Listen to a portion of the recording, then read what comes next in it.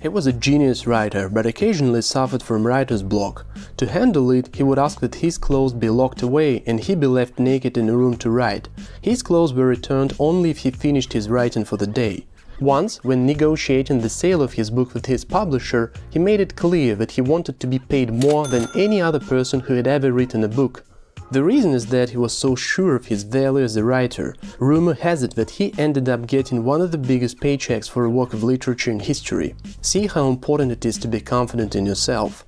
Welcome to Personality Matters, I am Arthur Camps and today we will be talking about Victor Hugo. If you like the content, subscribe to the channel and hit the notification bell. Victor Hugo was born in 1802. When he was a child, he moved a lot because his father, General Joseph Leopold Hugo, served in the military. General Hugo, despite his humble beginnings, achieved success in Napoleon's army through bravery and hard work. In 1816, Hugo's family relocated to Paris, where he immersed himself in the city's intellectual and cultural environment. His breakthrough happened in 1822 when his first collection of poems earned him an annual pension of 1000 francs from Louis XVIII. By 1824, Hugo became part of the Romantic movement, whose goal was to challenge the dominance of classical literature. His historical play, Hernani, achieved remarkable success among the theatre audience and in a way revolutionized traditional theatre. This victory not only brought him fame but also considerable wealth. In 1831, Victor Hugo released one of his most famous books, Notre Dame de Paris, commonly known as The Hunchback of Notre Dame. It solidified his position as the leading writer in France. The story is set in the past during the medieval times. It strongly criticizes a society that mistreats and isolates a hunchback named Quasimodo. This book became a huge success and marked a turning point in Hugo's career, leading him to write more about political issues. In his personal life, Victor Hugo also had significant changes. Even though he was married, he started a romance with a young actress named Juliette Drouet in 1833, who eventually became his mistress and faithful companion for the next 50 years. In 1841, Victor Hugo's literary work was recognized by his election to the French Academy. Four years later, he was nominated to the Chamber of Peers. Eventually, he reduced his publishing activity, partly due to societal and political obligations, but also he had to deal with the devastating personal loss because his daughter and her husband tragically drowned during their honeymoon. In his earlier years, Victor Hugo supported the monarchy, but gradually his political beliefs started changing.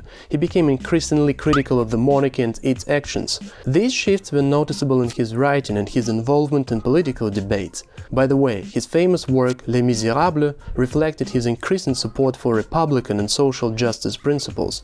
Back then, French society rapidly changed and faced numerous social issues, so many writers believed that creating beautiful art alone was no longer sufficient. They felt a moral duty to use their talents to assist the disadvantaged and oppressed. This shift in mindset marked the conclusion of the Romantic era in French literature and the commencement of realism.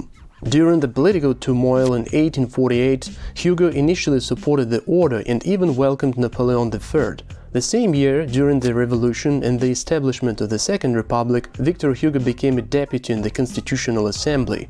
However, three years later, Hugo opposed Napoleon III when the latter staged a coup d'etat to dissolve the Republic and reinstate the empire. So Hugo bravely attempted to rally the Parisian workers against the new emperor. His efforts failed and he had to leave Paris for Brussels disguised as a common laborer.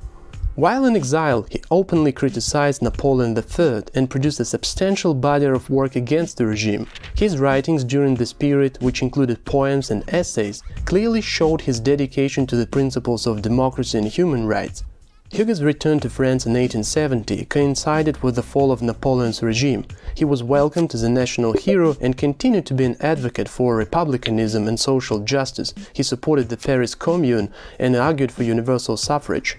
While he continued to uphold his long-standing beliefs, he no longer had the same energy. The challenges he faced in recent years had taken a toll on him and aged him. Despite growing more distant from the world around him, he became a national hero and the living embodiment of republicanism in France. Victor Hugo is one of the most significant figures in French literature. His novels, including Les Miserables and The Hunchback of Notre Dame, have become classics, influencing countless authors and shaping the literary landscape. Thank you for watching Personality Matters. We talk about people who made the world. Until next time, I am Arthur Camps.